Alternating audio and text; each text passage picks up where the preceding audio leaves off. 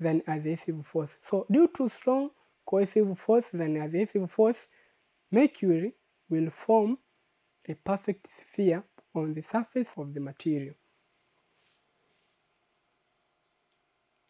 So as we can see on the diagram, here we have water molecule and we have mercury. Kwamba ukichukua water molecule ukaweka katika surface, yale maji yata spread above the surface you are being placed them. Lakini ukichukua mercury ukaweka katika surface ya kitu, mercury itaonekana kuwa na shape ambayo tunasema ni spherical in shape au shape ambayo ni tufe, yaani itakuwa na umbo la tufe ambayo tunasema ni spherical in shape, lakini hapo at the surface of the material ukicompare na nini na water, kwamba water ime spread over the surface, lakini mercury imetengeneza a perfect sphere. The reason we already discussed that it form a perfect sphere when placed on the surface of the substance. Why so? Because it have a strong cohesive force than adhesive force. So due to strong cohesive force than adhesive force, mercury will form a perfect sphere on the surface of the material or substances. But water spread over the surface of the material. The reason behind is what we call that the water possess strong adhesive force than cohesion force. So due to strong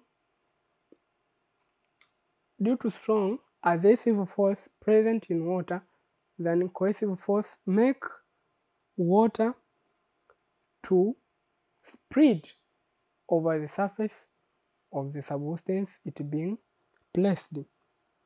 So now let's look on the application of cohesion and adhesion. What are the applications? Kwamba tumesoma cohesion ndiyo, tumesoma assertion ndiyo. Sasa ni matumizi yapi ya hii cohesion na assertion katika maisha yetu ya kila siku, kwamba inatumika wapi au inatumika vipi? We say that assertive used to stick two different object, for example using glue or tape, kwamba assertive force au adhesive or adhesive is used to stick two different object, kwamba tunaweza tukachukua object moja na object nyingine tukaziunganisha kwa pamoja na zikashikana vizuri pasipo kuachia kutokana na force ambayo hiyo force tunaita ni adhesion force. Kwa mfano, unaweza ukachukua gundi au tape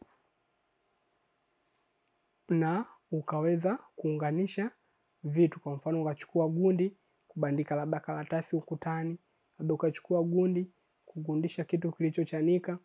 Kwa mfano, karatasi imechanika, unaweza ukachukua gundi au tepu uka uka ukatumia kugundisha pale na ita stick wala haitaachia. Kwa nini haiachii? Tunasema ni kwa sababu ile gundi ina strong adhesive force, kwamba there is existence of a strong adhesive force there.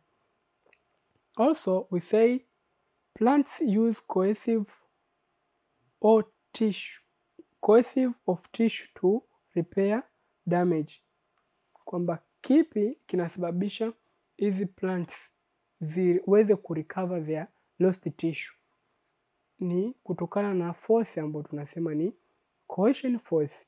Cohesion force tumesema ni force which is kind of force existing between the molecule of the same kind.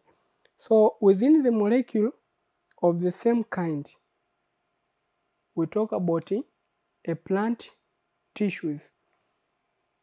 Hii cohesive force itasaidia hizi plants kufanya repairing, kwamba labda imepoteza some tissues due to strong cohesion force itaweza kurecover zile tissues na hiyo plant itaendelea kuwa na, she, na hali ile ya awali kabla ya damage ya hizo tissue. Also tunasema ink stick on the paper. Tunatumia kila siku kalamu kuandika katika madaftari, katika makaratasi, lakini hata siku moja tujawahi kujiuliza kwamba kwa nini huo wino unaotokea unaweza kustick au unaweza kukaa kwenye zile karatasi au daftari pasipo kufutika. Ni kwa sababu ya hizi force of adhesion na cohesion, ndio visababishi vikubwa vya kuweza kuisababisha hiyo wino istick katika paper. Lakini pia tunasema transport of water in plants and animal due to adhesive force, kwamba there is transportation of water within plants and also within animals. This transportation of water within plants and within animal is due to the force which is adhesive force. Kwa hiyo kuwepo kwa adhesive force inasaidia mimea kuweza kusafirisha maji, lakini pia inasaidia wanyama kuweza kusafirisha maji kutoka sehemu moja au from one part of the plant or animal to another part of plant or animal respectively. We say that adhesive is a source of friction.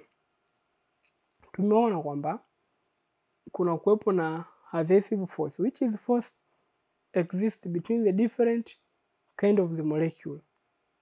So the force of attraction existing between the molecule of the different kind is what we call adhesive force.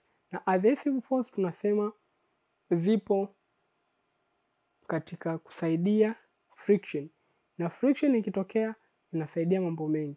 Kwa mfano inaweza ikasaidia on walking and such kind of advantage. So adhesive force is a source of friction force. Kwa tumeona baadhi ya application of cohesion and adhesion, kwamba cohesion inatumika vipi, adhesive au adhesion pia inatumika vipi.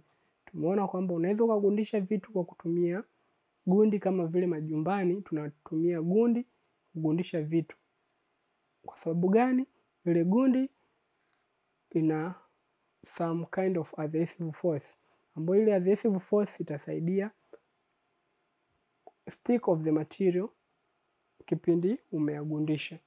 Lakini pia tukaangalia kwamba plants zinaweza rika, zikafanya recovering of the tissue when they are damaged, kwa sababu ya kuwepo kwa force, ambayo hiyo force tumeita ni cohesive force. Kwa kuwepo kwa cohesive force inaisaidia plants kufanya recovery of the lost tissue or of the damaged tissue. Lakini pia tukaona kwamba ni kwa jinsi gani ink au wino unaweza ukastick on the paper. Kama unapoandika wino unakuwa unaweza kustick katika paper na haiwezi kufutika, pia tumeona. Lakini pia tumeona about transportation of water in plants, kwamba transportation ya maji katika mimea lakini pia katika wanyama inasaidiwa na adhesive force. Hatujaishia hapo, tukaona kwamba surface, surface friction or friction is being produced by the effect of adhesive force. So adhesive force is a source of friction, lakini tumeona kwa namna gani? Water inaweza ika, ika spread over the surface, lakini pia tumeona why mercury ina form bubbles, lakini pia tumeona ni kwa jinsi gani adhesive, adhesive force na cohesive force inasaidia hizi plants kuform water bubbles ambazo ni round or spherical in shape. By saying so, this makes the end of, of our session and before we close up our lecture session, let's have an assignment to work on or let's have a task to do. Our task states that discuss ways in which cohesion and adhesion are used in our day-to-day life. go and search the ways in which cohesion force and adhesion force is used in our day-to-day life. By saying so, this makes the end of our lecture session today. Welcome on the coming session. Stay on watching. Thank you.